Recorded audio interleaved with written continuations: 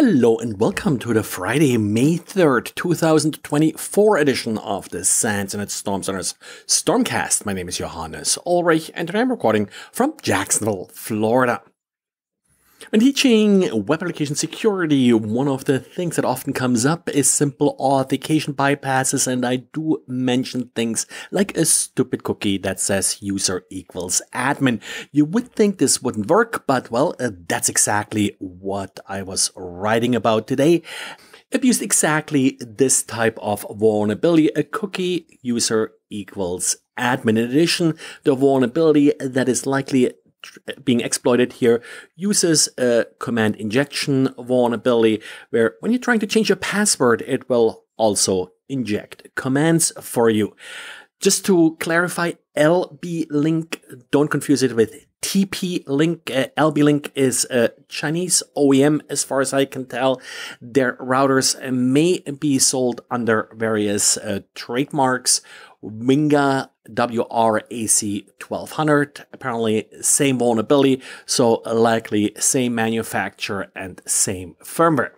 One problem with sort of these uh, routers that are sold under different uh, trade names is that it can be difficult to figure out where to actually get firmware for these devices before you buy any kind of device like this, always try to find a manufacturer's website, check out if firmware is easily available from the website, and while you're there, also check if they have any kind of end of life policy to make sure you're not buying a device that will no longer receive any updates. And talking about routers and related devices, we do have an update for Aruba OS. That's part of HP Enterprise. Number of different vulnerabilities are being addressed here. Four of them are buffer overflows with a critical rating and a CVSS score of 9.8. At least it's not a weak default password. And if you're brave enough to actually try to parse XML in JavaScript uh, using the NPM library XML crypto, which is the XML crypto library available in NPM, well, it didn't really do much to actually verify the certificates uh, being included in an XML message.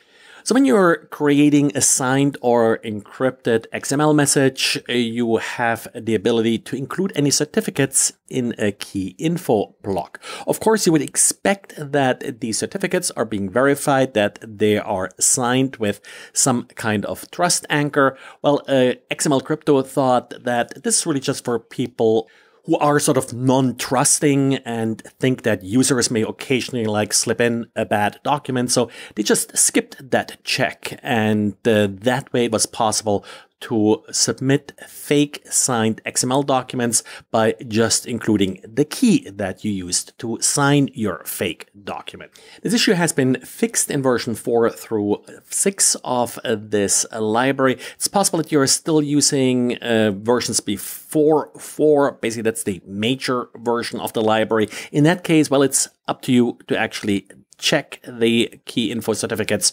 before you trust the output of XML crypto. And Lumen's Black Lotus Lab uh, did find some compromised uh, small office, home office routers that uh, were infected with malware that essentially placed the good old machine in the middle attack.